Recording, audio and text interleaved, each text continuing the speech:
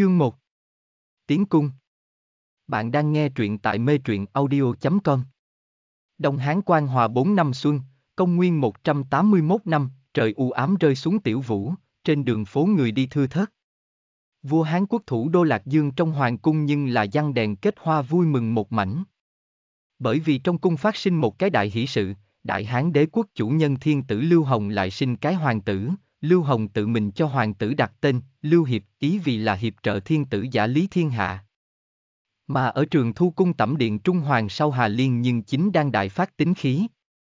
Thê Thế Tây Hán Hoàng hậu kim chức đại trường thu, rác rưởi, rác rưởi, ta nuôi các ngươi để làm gì? Bây giờ cái kia tiểu tiện nhân đem nghiệt chủng đều sinh ra được, sau đó thì càng không đem bản cung để ở trong mắt.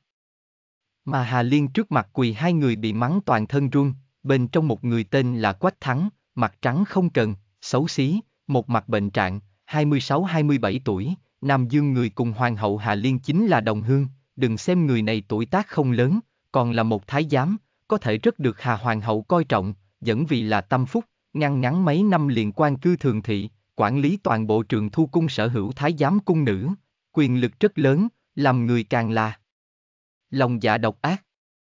Quỳ tên còn lại là một người trung niên cung nữ tên là Đậu Nương, chừng 40 tuổi, là cái quả phụ, là Hà Hoàng hậu ở Nam Dương quê nhà của hồi môn lão mụ tử, cùng Hà Liên cùng tiến vào cung, hiện vì là trường thu cung quản sự nữ quan, chủ yếu chăm sóc Hà Liên cùng hoàng trưởng tử lưu biện ẩm thực sinh hoạt thường ngày. Hai người để Hà Hoàng hậu mắng không dám lên tiếng. Hà Hoàng hậu nói. Làm sao? Không lên tiếng. Ngươi lần trước không phải đã nói, ngươi có thể giải quyết cái này tiểu tiện nhân sao? Làm sao còn làm cho nàng sinh ra tiểu nghiệt chủng? Quách thắng nhẹ giọng đáp. Nương nương, nô tỳ đã nghĩ tất cả biện pháp, nhưng là vương mỹ nhân vẫn đối với trường thu cung có đề phòng, chúng ta đưa đi ẩm thực nàng một mực không ăn, sinh sản lúc lại vẫn ở tại Thái hậu nương nương Vĩnh An cung, nô tỳ thực sự là không có cách nào ra tay a, còn nửa ngày cùng vương mỹ nhân bất hòa bệ hạ sớm có biết, nếu như phái người ám sát, sau đó khủng bệ hạ gặp hoài nghi đến ngài trên đầu. Bây giờ vương mỹ nhân lại sinh ra hoàng tử, rất được bệ hạ ân sủng, việc này vẫn cần bàn bạc kỹ càng mới sự a. Quách thắng trong miệng cái gọi là vương mỹ nhân chính là trong lịch sử hán hiến đế lưu hiệp mẹ đẻ vương vinh, xuất thân phú quý, ngũ quan trung lang tướng vương bao tôn nữ, sơ lấy nhà lương thiện tuyển vào dịch đình, phong làm mỹ nhân. Vào cung sau rất được lưu hồng sủng ái, mà hà hoàng hậu xuất thân thấp hèn, phụ huynh chỉ có điều là cái giết lợn lão. Điều này làm cho Hà Hoàng hậu đối với Vương Vinh hận thấu xương, muốn trừ chi mà yên tâm. Thực ở trong cung chỉ cần là hoàng đế sủng ái phi tử cái kia đều là cái đinh trong mắt của người khác, cái gai trong thịt. Ai kêu như đại hoàng cung chỉ có hoàng đế này một cái, mang đem đây. Hà Hoàng hậu nói. Vậy ngươi nói làm sao bây giờ? Liền như thế để tiện nhân kia vẫn tiếp tục như vậy. Quách thắng nói. Nương nương, bây giờ vương Mỹ Nhân trốn ở Thái Hậu trong cung, chúng ta không tiện hạ thủ, thế nhưng nàng không thể sống lâu dài ở Vĩnh An cung chứ. Chỉ cần nàng chuyển về đi, nô tỳ liền nhất định có thể tìm tới biện pháp diệt trừ cái tai họa này, không bằng trước hết làm cho nàng sống thêm mấy ngày chứ. Hà Hoàng hậu nói. Ngươi có kế hoạch gì sao? Quách Thắng nói.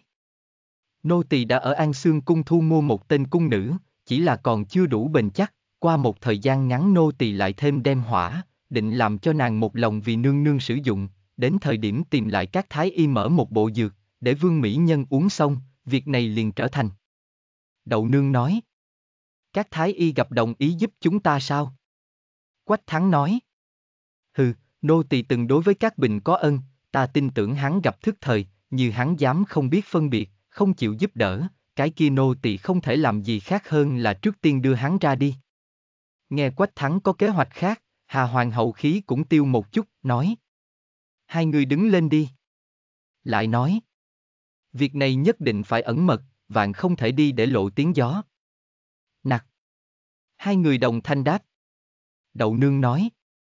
Sắc trời không còn sớm, ta để hạ nhân cho nương nương múc nước tắm rửa đi. Hà Liên nói. Một cái gì một a, bệ hạ đều hơn nửa năm không có ở bản cung này qua đêm, ta mộc cho ai xem a, bây giờ khẳng định là canh giữ ở cái kia tiểu tiện nhân bên người, nếu không có biện ở đây, bệ hạ sợ là sớm đã đã quên ta này trường thu cung. Bây giờ ta cùng chúng ta thôn quả phụ có cái gì khác nhau chớ? Đậu nương an ủi. Bệ hạ chỉ là nhất thời bận biểu chính sự, ta nghĩ hắn rảnh rỗi nhất định sẽ đến xem nương mẹ nó chứ. Hà Liên thương cảm nói. Được rồi, đậu nương, ngươi cũng đừng lại an ủi ta, từ lần trước ta cùng hắn ầm ĩ vài câu, bệ hạ liền hận trên ta, như không phải xem ở ta có biện nhi, chỉ sợ ta người hoàng hậu này cũng làm được đâu. Trong cung sắc đẹp vì sao nhiều như vậy, bệ hạ là cái cái gì đạo đức ta so với ai khác đều rõ ràng, ta này trường thu cung chỉ sợ so với lãnh cung cũng không mạnh hơn bao nhiêu. Quách thắng nghe Hà Liên nói chút thương cảm lời nói, khóc nói. Đều là nô tỳ vô dụng, không thể để cho bệ hạ tới này. Hà Liên liếc mắt nhìn Quách thắng, nói. Được rồi, việc này không trách ngươi, ngươi ngày mai đem các thái y mời đến, ta nghĩ tự mình gõ một cái hắn. Bây giờ tiện nhân kia sinh ra tiểu hoàng tử, nếu như không sớm hơn một chút diệt trừ nạn, tương lai không riêng là đối với ta có uy hiếp, cái kia tiểu nghiệt chủng đối với biện nhi cũng là cái uy hiếp a. Quách thắng nói. Nô tỳ rõ ràng. Hà Liên lại nói. Khoảng thời gian này ta vẫn không ngủ ngon, thuận tiện cũng làm cho các thái y mở cho ta một vài thuốc an thần. Chính vào lúc này, đậu nương hé miệng lại ngừng, một bộ rất muốn nói, lại muốn nói lại thôi dáng vẻ. Hà Liên nói. Đậu nương ngươi có cái gì muốn nói liền nói đi. Hai ngươi đều là tâm phúc của ta, nơi này không người ngoài. Đậu nương nói. Nương nương ngủ không ngon giấc, lấy nô tỳ xem ra là nam nữ âm dương không điều gây nên, không bằng. Hoàng hậu mặt đỏ lên, nói. Bệ hạ cũng không tới ta này. Ta có biện pháp gì? Lẽ nào ta còn có thể chạy đến hắn tẩm điện đi không được? Đậu nương nói. Nô tỳ ý tứ là. Quách thắng cướp nói. Đậu nương chẳng lẽ là muốn nói từ cung ngoài ra nam tử tiến đến? Đậu nương gật gật đầu. Quách thắng nói.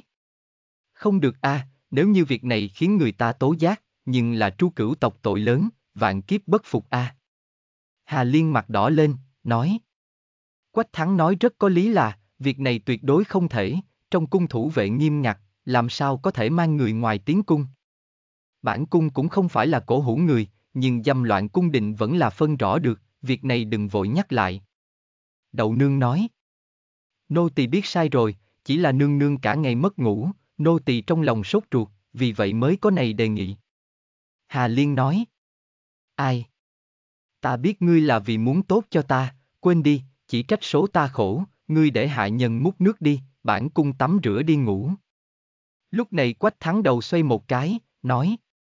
Đậu nương nhắc tới cũng không phải hoàn toàn không thể làm, nô tỳ đến cảm thấy đến cũng có thể được. Hà Liên nói.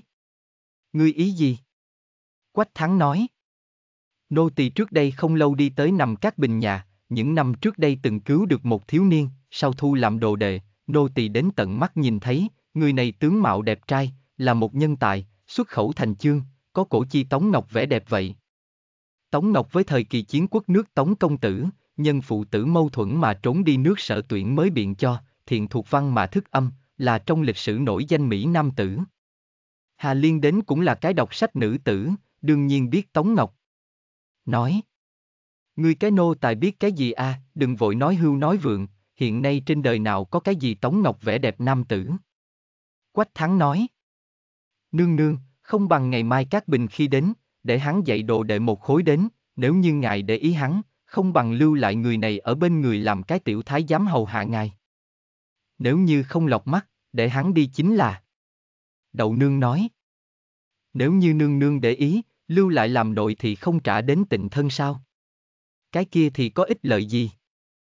Hà Liên không nói lời nào. Quách Thắng cười nói.